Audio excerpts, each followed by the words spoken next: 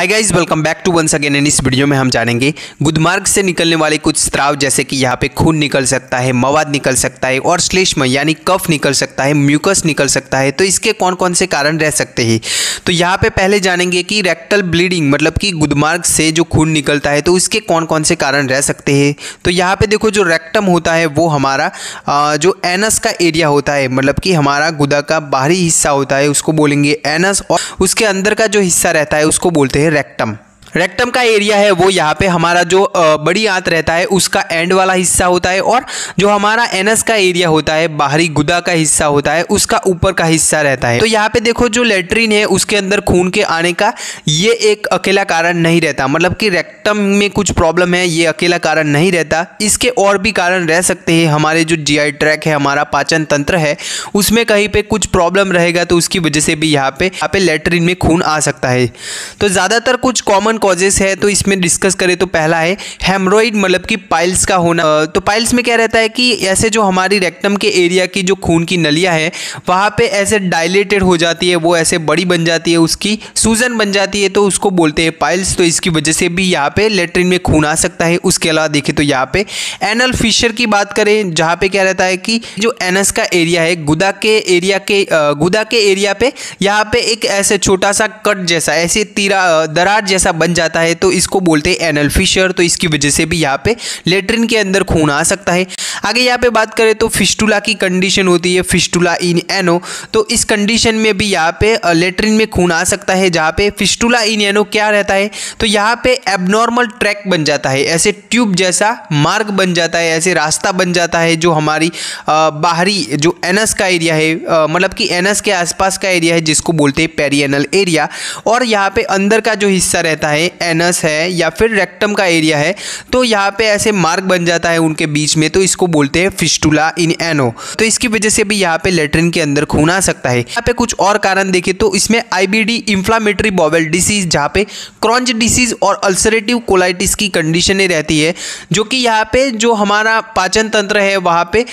Inflammation की condition रहती है। यहाँ पे हमारी बड़ी आंत है, छोटी आंत है, इसमें अलग अलग रहता है। हम यहाँ पे आप ऐसे समझ लो कि ये हमारे जो आंतें रहती है, उनकी सूजन वाली कंडीशन है तो इसकी वजह से भी यहाँ पे हमारे लेटरिन में खून आ सकता है। आगे यहाँ पे बात करें तो कुछ और कंडीशन भी रह सकती है, जैसे कि कोलन पोलिप की कंडीशन रहती है। अभी पोलिप क्या रहता है? तो पॉलिप ऐसे एक ग्रोथ होता है। हमारी जो लार्ज इंटेस्टाइन है कोलोन है, या फिर रेक्टम है तो उनके अंदर ऐसे अंदर की लाइनिंग होती है, अंदर का परत रहता है तो उनके ऊपर ऐसे ग्रोथ बन जाना। तो इनकी वजह से भी मतलब कि ऐसे पॉलिप की कंडीशन की वजह से भी यहाँ पे लेटरिन के अंदर खून आ सकता है। आगे यहाँ पे बात करें तो कोलोरेक्टल जो कार्सिनोमा है एनल कार्सिनोमा है मतलब कि कोलॉन जो है, बड़ी आंत है रेक्टम जो है, गुदा का अंदर का हिस्सा है तो इन सभी के कार्सिनोमा मतलब कि कैंसर की कंडीशन की वजह से भी आप में जो लेटरिन है, उसमें खून आ सकता है। आगे बात करें तो यहाँ पे डाइवर्टिकुलर डिसीजीज डाइवर्टिकुला क्या रहता है? तो डाइवर्टिकुला मतलब कि यहाँ पे आंत की जो दीवार है, वहाँ पे ऐसे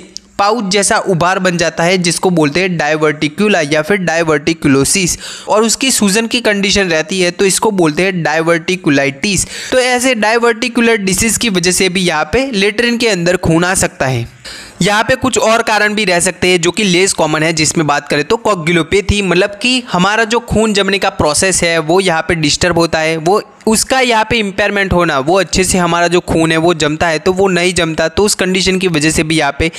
लेटरिन के अंदर खून आ सकता है। उसके अलावा देखें तो यहाँ पे इन्फेक्टियस गैस्ट्रोएंट्राइटिस जहाँ पे वायरस है बैक्टीरिया या फिर पैरासाइट की वजह से हमारा जो पेट है, आँत है तो उसमें सूजन की कंडीशन रहना, उनका इन्फेक्शन रहना तो इनकी वजह से भी यहाँ पे लेटरिन के अंदर खून आ सकता है। आगे की कंडीशन है यहाँ पे एनजियो डिस्प्लाजिया जहाँ पे क्या रहता है कि ये हमारी जो एवी माल फॉर्मेशन की कंडीशन रहती है, ये एक प्रकार की वास्कुलर एबनॉर्मलिटी है, जहाँ पे क्या रहता है कि जो हमारी आर्टरियोवेनस जो खून की नलियाँ है, यहाँ पे वेन्स है आर्टरीज है, वो यहाँ पे एक दूसरे के साथ ऐसे जुड़ जाती है। ऐसे जो छोटी खून की नलियाँ रहती है, उनका यहाँ पे डायलेशन हो जाता है, वो ऐसे सूज जाती है। इसकी वजह से भी यहाँ पे लेटरिन के अंदर खून आ सकता है। आगे आगे की कंडीशन है यहाँ पे स्टेमिक कोलाइटिस जहाँ पे क्या रहता है कोलाइटिस मतलब कि हमारी जो बड़ी आंत है कोलोन है तो उसकी सूजन रहती है और वो भी जो स्टेमिया मतलब कि यहाँ पे लेक ऑफ़ ब्लड फ्लो जो हमारा खून अच्छे से उसको नहीं मिलता, जो कोलॉन है, बड़ी आंत है उसको तो उसकी वजह से जो कोलाइटिस रहता है इन्फ्लामेशन की कंडीशन रहती है तो इसकी वजह से भी यहाँ पे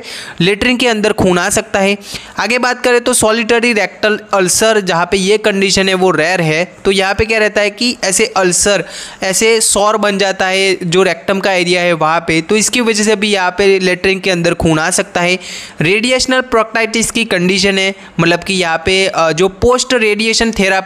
ये जो है वो रेडिएशन थेरापी के बाद कॉम्प्लिकेशन के तौर पे जो जो प्रोक्टाइटिस देखने को मिलता है। मतलब कि यहाँ पे जो लाइनिंग है रेक्टम की, उसकी सूजन बन जाना मतलब कि रेक्टम की सूजन बन जाती है तो इसकी वजह से भी यहाँ पे लेटरिन के अंदर खून आ सकता है। आगे बात करें तो रेक्टल वेराइसियस तो यहाँ पे क्या रहता है कि जो गुदमार्ग की सब म्यूकोजल वेन है, वो ऐसे डायलेटेड बन जाती है, ऐसे टॉर्चरस उनका ऐसे सूज जाना। तो इसको बोलते हैं रेक्टल वेराइसियस तो तो इनकी वजह से भी यहाँ पे लेटरिन के अंदर खून आ सकता है। आगे यहाँ पे बात करें तो मिकल डायवर्टिकुलम मतलब कि ये एक प्रकार की कंजेनाइटल ये एक प्रकार की जन्मजात होने वाली बीमारी है, जहाँ पे क्या रहता है कि जो छोटी आंत है, उसके लोअर पार्ट में मतलब कि निचले हिस्से में ऐसे आउट पोचिंग होना ऐसे बल्ज बन जाता है, ऐसे उभार बन जाता है तो इसको बोलते हैं मिकल डायवर्टिकुलम और इसकी वजह से भी यहाँ पे बच्चों के अंदर ऐसे लेटरिन के अंदर खून आता है। आगे आगे बात करें तो एस मतलब कि सेक्शुअल ट्रांसमिटेड डिसीज जहाँ पे गोनोरिया है तो लिम्फोग्रेन्यूलोमा वेनेरियम है तो इनकी वजह से भी यहाँ पे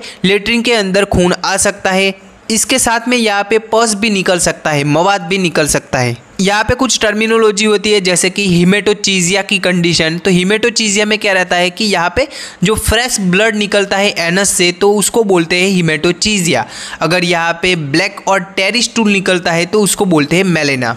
रेक्टल ब्लीडिंग में जो खून आता है वो यहाँ पे मल के साथ में भी आ सकता है, मल के ऊपर स्टूल के ऊपर भी आ सकता है टॉयलेट पेपर में भी आ सकता है और यहाँ पे स्टूल के सेपरेट में भी आ सकता है। उसके अलावा देखें तो यहाँ पे फ्रेश ब्लड भी निकल सकता है। तो ये थे यहाँ पे कारण जिसकी वजह से लेटरिन के अंदर खून आ सकता है। तो आई होप आपको इस वीडियो से कुछ जानने को मिला होगा। Thank you